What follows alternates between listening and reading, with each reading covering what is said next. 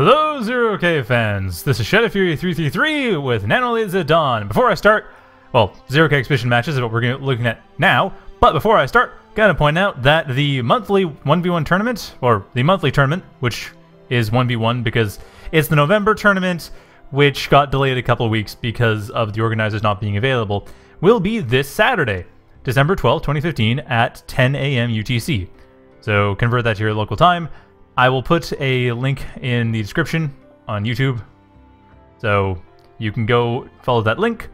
And don't worry if you don't think you're going to win because just play. I mean, you'll get experience. You'll get at least three games in because of the format. So it will be still valuable experience. And who knows, you may win. There's no reason to think you won't. Because I'm actually not sure who's in it right now. But yeah, so that's the thing. Give it a shot, see what happens. So that is on the 12th. Right now is a game between North Chilean G and Dorsh on Dune Patrol, a map which I don't recall actually showing up too much. This map, this lake in the center is more important than it looks. It's also much bigger than it looks. It looks fairly small, but no, it's actually... I would recommend going for either amphib to go across the center or some kind of vehicles just to be able to traverse quickly enough. Hovercraft don't work as well as they used to on here. However, actually, one of the downsides is this area here, this ridge, can be a bit troublesome for vehicles. A lot of people do go hovercraft. They were, or at least were, fairly popular here. I tried them the other day, and the pathing on these hills just killed it. So, yeah, the center area being water. And as you can see, North Chilean G going for gunships. Dorsh going for Cloakybot, which hasn't been a very popular choice recently. It's moderately solid, and it's not like it can't go through the center, but it's just not as effective as Amphib. There's actually some, I think some areas here where it can't. Maybe not, no. Looks like everything's shallow enough. But overall, yeah, I would recommend something that can deal with water well. At any rate, Dorsh starting off by figuring out there is a gunship plane coming in here. Is there just the two defenders? Now, these are Banshees, by the way. Banshees don't really fall to defenders that easily. They have 860 health, which is a fair amount. That's what two defender volleys. I think between the two defenders, that Banshee, yeah, even then required extra support. Dealing with the Banshee is a lot like dealing with pretty much any other Raider. They actually don't fly that far off the ground. So if you get a decent Riot unit, I'm not sure if Warriors work. I know Stardust turrets work. And I think... Gremlins might be fine.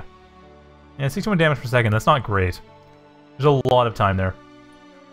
So overall, you aren't going to be wanting to use traditional anti-air solutions against the Banshee just because they're just going to stay there. They're going to tank it, and they're going to deal a lot of damage in the meantime.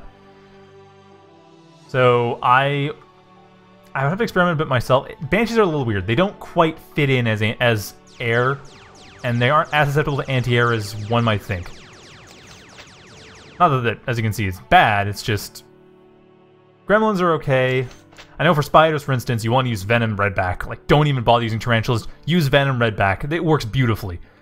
But we're not watching spiders here. We're watching Cloaky. And Cloaky versus Gunship, a little bit more straightforward. Gremlins are cheap enough that it's worth it. Gremlins, point out, are 150 metal, or 150 metal. I have been playing StarCraft recently. And Banshees are 220 metal. So Banshees are a little bit more expensive. So, whereas a Tarantulas in Spider-Bot Factory are 400 metal it takes a lot longer naturally for them to pay for themselves at that point. Anyway, Gremlins can work just because they are a bit faster in their fire rate, so I hadn't really thought about that. But Dorsh is not wrong. I, I wouldn't recommend a Warrior just because Warriors are slow and easily countered by basically anything with decent range. They aren't terrible, necessarily, but they aren't... There's usually a better option. Especially when you're trying to respond to something like this. Yeah, unless you're unless you can place the warriors in a position where they can just deal with stuff, and against air, not likely. So Gremlin's the best to work with. North Chilean G adding in a light vehicle factory, having finished what they needed to do with the Banshees. Actually, not really. They haven't done that much. Banshees haven't even made cost yet. It's like that's 600, well, almost 700 metal there, and they killed what? Well, they lost one. They've killed one metal extractor. I mean, that's actually not that much. Dorsh is doing fairly well right now. North Chilean G could explode quite quickly using this light vehicle factory.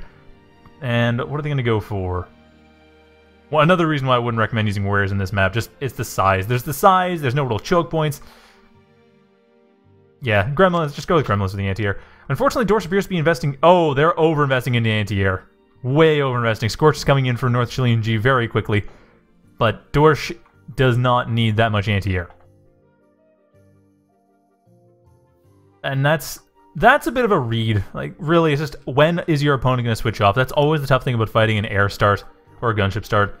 When is my opponent going to switch off? Knowing when that is and knowing that you have enough to deal with whatever they throw at you. And unfortunately, those all those gremlins going in for an assault, I guess they're expecting more and more air. Nope. They didn't even manage to stop that crane, sadly. That crane there, man, if they if they hit that crane, but it's going to take the Northeast pretty much with impunity. Now, just to see, what radar do we have here? Dorsh has no idea what's going on there. North Chilean G, well, if more for the fact that the Gremlins are cloaked. The Gremlins are cloaked, which is the only reason North Chilean G does not know they're there. And now North Chilean G realizes the error. Fortunately, the defenders being of some use, but having just expended their entire volley, that's basically it. Dorsh, right now, pretty desperate, getting a couple sizes up. Not going to help against the Banshees. Will help against the Scorchers. They two-shot Scorchers. So, yeah. Oh, not quite two-shot. Not quite two-shot. They actually three-shot Scorchers. It's really close. And Razor up, which is not really the best... That's the thing. Razor isn't really a great choice. It's an okay choice, but it's not the best choice. The Gremlins are really the thing that pushed those Banshees away. They could have taken out the Razor. The Razor really doesn't deal enough damage for it to be a threat. Now, on the other hand, like I said, Stardust will work beautifully, and the other one that works beautifully, I guess... I'm not really sure what else. I don't think hacksaws would work. Chainsaws would work, but chainsaws are really expensive. Defenders are are not that great just due to the fact that they require so many, like seven defender missiles. That's two whole volley. Like that's two turrets completely expending their entire volley, and then another turret firing off a last support missile to kill off a Banshee. To kill off one Banshee, let alone a group of three. So Banshee Scorcher coming in here, Raider group coming in from North Chilean G over to the southwest. And that is going to be a problem very shortly. Probably once... Uh, how many... I would expect now. And Scythes have revealed themselves not doing too much damage, unfortunately. Getting rid of a couple defenders, but not much in the way of follow-up forces. It looks like it was a mistake by Dorsh. And there we go. It is half a dozen Scorchers for the assault. Dorsh is going to be taking a lot of damage. Good, well, okay reclaim. Not unfortunately enough production. This is a huge thing. Dorsh just realizing they're accessing, pushing that into production, but unfortunately it's too late for it to be of any use, and this is the killing blow. North Chilean G is going to run into the main base and should be able to tear everything apart. And here comes the Warriors. Moment of truth for the Warriors, which yeah, like I said, they're not great. And can they not hit Banshees? Yeah, they can hit Banshees. Okay, yeah. So they're fighting against the Banshees. That almost worked like a flak can, which Cobra might work too. Come to think of it, Cobra, the flak gun might be okay against Banshees. But yeah, this is the problem for Warriors here. Range and Banshee speed. And this this is game. Dorsh is going to throw in the towel right now, I'm sure. They still have their commander up. They could pretty quickly rebuild. I mean, they're they're accessing in both resources. They could set up a caretaker and set up a factory, get it up in half a minute, but that's not really enough. Dorsh expanding to the southwest. That northeast is also built up thanks to that crane not dying. And Dorsh without their main base, they haven't got much. Desperately setting up what they can, but North Chilean G is well aware that their commander's there. They know it's their commander, they know where it is, they know that there are metal extractors being built up. Hovercraft factory being built up, unfortunately that's not quick enough. Oh, never mind. I didn't notice. They have Carvers and Enolith. They have very nearly a caretaker within themselves. Okay, good call there, Dorsh on that commander. I uh, don't agree with having Morph, though. They really needed that reserve resource to get that hovercraft factory up as quickly as possible. Even with the nanolith, it's not worth it. They don't have the build power to make it work. Although, okay, the reclaim wasn't a bad idea. Still, they just don't have the build power for that even with this stuff in storage, but looks like it won't matter because honestly, it won't matter. I mean, I don't mean to be rude, but it's this is kind there isn't much they can easily do here. Well, I guess the hills weren't as bad as I thought. There isn't much they can easily do here. There really isn't.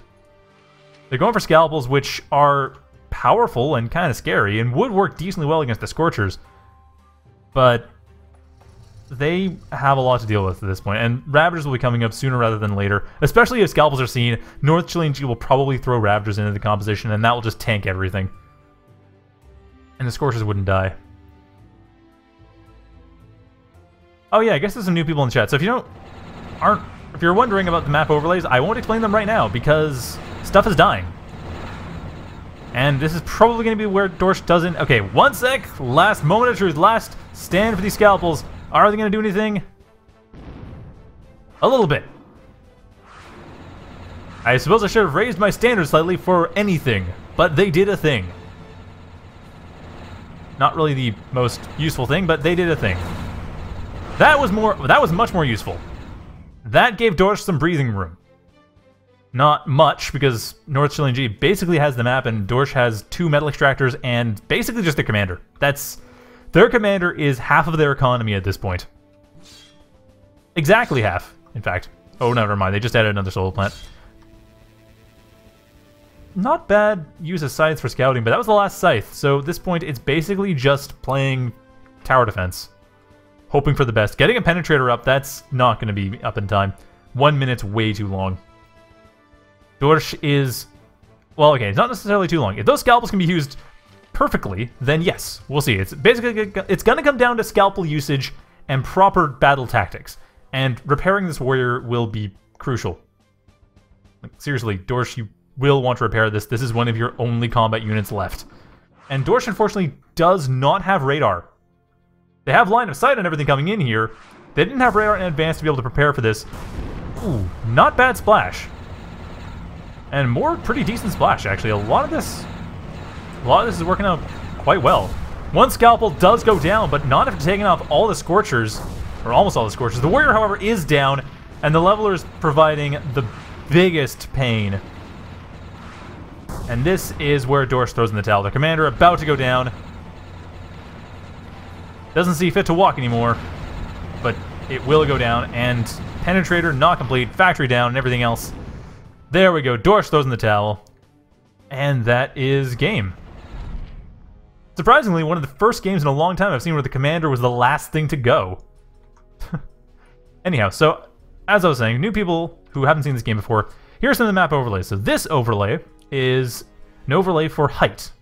Basically, it switches colors every, I think, 30-something elmos of elevation. No. Like 5 elmos of elevation. It gives you a bit of an idea of how much of an elevation grade there is. It's not the most useful thing.